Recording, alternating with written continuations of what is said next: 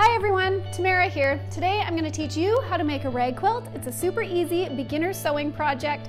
If you have a sewing machine and you can sew in a straight line, you will be able to do this.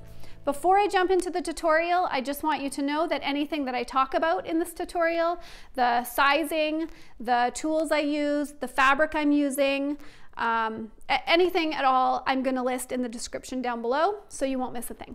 All right, let's get started. So first, let's just quickly go through the tools that you're gonna need to get this job done in the easiest way possible. Without these tools, you can still make yourself a rag quilt. It's just gonna take a lot more cutting. So let's go through the tools that I use to make this project. I use a rotary cutter, a quilter's ruler, a quilter's sewing mat. This one is one of those self-healing ones.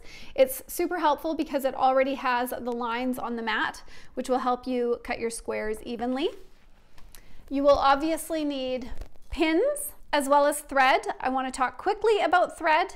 Uh, you're going to want to use a higher quality thread. Please don't go out and buy cheap thread from the dollar store or from Ikea. That thread will break on you and cause you frustration and it's not worth it.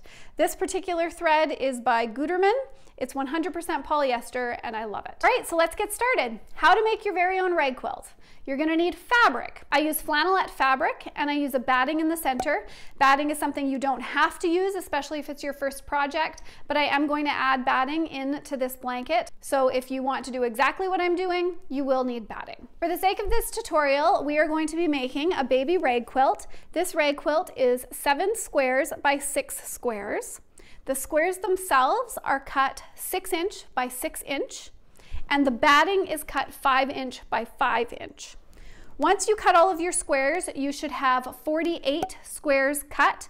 I did five different types of fabric, as you can see here, and I did about a half a yard of each fabric. I ended up with some scraps, which I'll use for another project, but that's about how much fabric I bought for this blanket. So the first thing you're gonna do is cut those squares. Six inch by six inch, super easy with your rotary cutter. They're gonna end up looking like this, and then you're going to want to sandwich your squares together. Where is my sample? Hold on, lost my sample. So your fabric is going to look like this when you sandwich it. So you want both of your squares facing outwards and the wrong sides are going to be facing in. Then you're going to place your batting in there. So as you can see here, it's a bit smaller than the rest of your fabric. I did add an extra layer of flannel into this blanket as well, which is something that I've never done before. But because I was making this blanket and I wanted to see if I could get the ragging itself thicker, I thought, why not add an extra layer of flannel?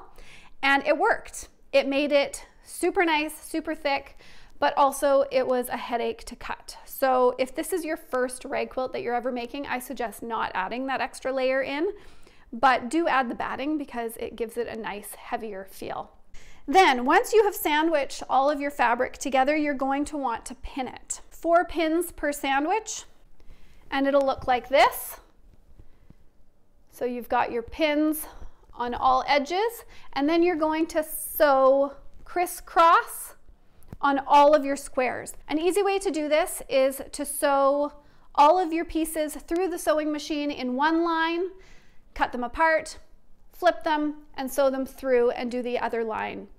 I find it's the fastest way for me to sew all of the X's on my squares. Sometimes I don't even use the pins on my squares because it doesn't bother me if my fabric moves a little bit because the ragging fixes all of my mistakes for me. So once you have all of your squares sewn with the crisscross, then you're gonna move on to figuring out your pattern. You can lay out all of your fabric, lay it out in whatever pattern you want. Sometimes if people do only two different types of fabric, they can do a checkered pattern. I like lots of different fabric because I can never pick when I'm at the fabric store. So if you're like me, then just try to keep the solids away from the busy and I'll just show you again. This is the pattern I ended up with for this blanket. I think it worked out quite nicely. Once you have decided on where all of your fabric is going to sit in your pattern, you're gonna wanna number all of your rows so you don't forget where your rows ended up laying. So just grab scrap paper, one through seven, pin it to the edge of every row, or even take a picture of the pattern that you've laid out on the table so you can refer back to it and remember which row goes where. Because believe me, these rows can get mixed up and you will end up disappointed when you realize your entire blanket is put together and one of your rows is in the wrong spot. So once you have decided on the pattern for your rag quilt, then the next thing you're gonna need to do is pin your rows. When you're pinning your rows, you want all of the edges facing the same way and they're gonna face out because that's what you need for ragging. When you sew your edges together, you are going to do a half inch seam around everything. So you're gonna pin all of your rows so that they're all sticking upwards like this, and then you're gonna run them through your sewing machine at a half inch. You don't have to do back stitches for the crisscross part or for this part because when you start sewing your entire blanket together, that's when you're gonna wanna do back stitches uh, and that will hold all of your rows together. Once you have all of your rows sewn together, now it's time to take all of those rows and button them up against the, the row above them, pin them together, and you will end up with this. Can you see that there? That's how you'll want to pin them up. That way this side you will hold through the sewing machine and the bottom side the sewing machine will naturally push backwards.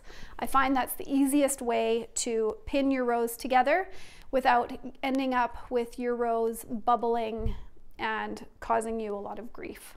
Oh, don't forget, when you're sewing your rows and you're sewing around the edge, do a back stitch. So once all of your rows are actually sewn together, then it's time to sew around your entire blanket. Do a half inch seam around the entire thing. And instead of folding that hem uh, one way or the other way, you're going to take those pieces, open them up, and continue that half inch seam across there. It just gives it a neater look at the end of your blanket. All right, your rag quilt has been sewn, put together, and now it's time to start snipping your blanket. So when you look at your hems, you'll see that you have a folded piece here. So you'll just snip that so that this piece will be loose. It'll look something like that. You'll be able to snip along all of your edges and all of your center edges, just doing it a centimeter at a time. I find that helps with your ragging. And then it's time for washing. Your washer and your dryer, I'm assuming, are expensive as most are. So the washing and drying for the ragging effect is very important. Please listen to me. Don't skip these steps because they're vital to keep your washer and dryer lasting long. you do not want to make a nice little rag quilt as a gift and end up ruining your washer and dryer. So your blanket is gonna go through your washing machine two times Please put your rag quilt in the washing machine with a couple of old towels. It will help balance your washing machine so that your rag quilt is protected from extra ripping, which I have done to a blanket when I forgot to throw towels in. But also, it helps your washing machine stay balanced so that the cycle can go all the way through. Your first round, you don't need to use soap, use warm water and a quick wash. Your second round, do use soap, still warm water, still a quick wash. Once you take the towels and your rag quilt out of the washing machine, shake them outside so that all of those extra little lint pieces that have shown up aren't sitting on your blanket moving into the dryer. Then put your blanket and, and the towels into the dryer. Do it on a medium heat and remember to check on your rag quilt about halfway through the drying process. Set yourself an alarm so that you can empty that lint trap because it will fill up quickly. And if you want, you can also take a moment to shake out your blanket again outside, shake out those towels outside, throw it back in the dryer for the rest of the cycle. If you follow these steps, your washer and dryer will not be affected by the ragging process. And that's how you make your very own rag quilt. I hope this tutorial was helpful. If you do end up making this rag quilt, please leave a comment down below. Let me know how it went. If you have any other tips and tricks you'd like to share with others, give this video a thumbs up. If you liked this content, it really helps me know where to go with the next video. And uh, subscribe if you want to see more creative content. See you next time. Oh, wait a minute. Should I share with you what next time might be? Give me a minute. Let me go find it. Since I said see you next time, you want to know what's next time?